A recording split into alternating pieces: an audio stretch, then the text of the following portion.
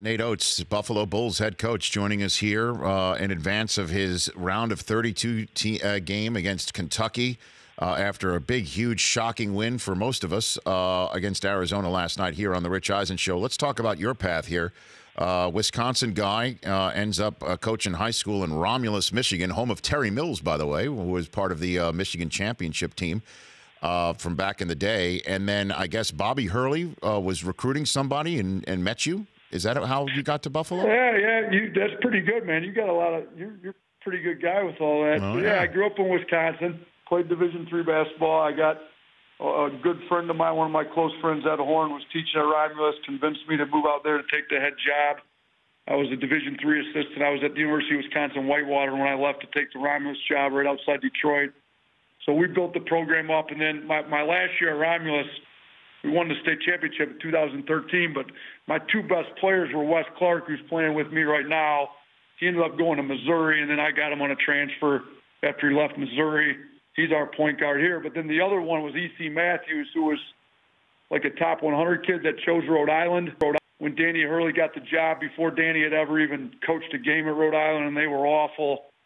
Like EC chose to go there to play for them, so I built a really good relationship with Danny and Bobby Bobby gets the head job after their first year at Rhode Island, and Danny and Bobby talked, and Danny recommended, and Bobby called me, and kind of history, you know, it worked out great. And I, I mean, I give Bobby a lot of credit for taking a high school coach and then making him his top assistant, his first first head coach. But I think you know the fact that their dad was such a good coach and stayed in the high school uh, ranks mm. helped me out a little bit. They had a little bit more respect for high school coaches than what some typical Division One guys would, and then shoot, it's kind of history from there. Yeah, isn't it amazing how this works, right, Nate? Uh, uh, a guy from Wisconsin makes his high school bones in the state of Michigan, gets hired in Western New York, and has the biggest win for that area in Idaho. It's amazing how that yeah, works.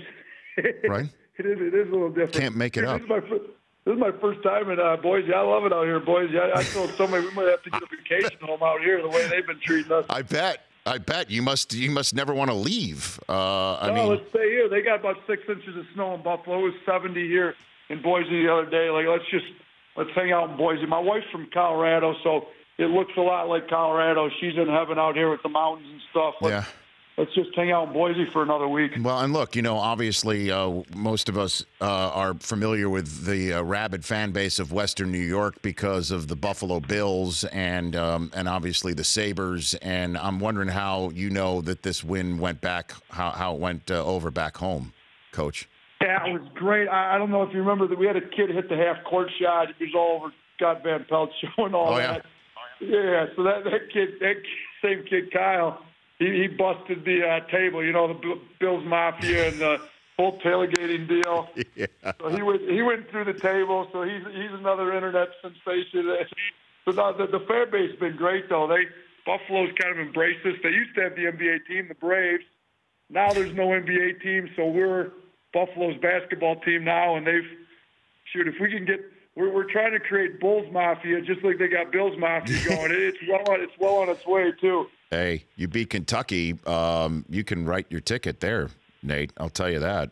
I mean, no, it'd be great. Sean McDermott's been. I mean, he called and left me a voicemail the other day. He put out a uh, little video from the Bills uh, Twitter site. They're all in. Like he's, it, it's it's been great. It's a it's a good time to be in Buffalo winning some games. Yeah, and uh, one of your assistants, uh, Jim Whitesell, his brother Patrick, is a uh, partner at William Morris. You could sell your life rights right now, Nate. You know, I mean, you could go Hollywood if you want.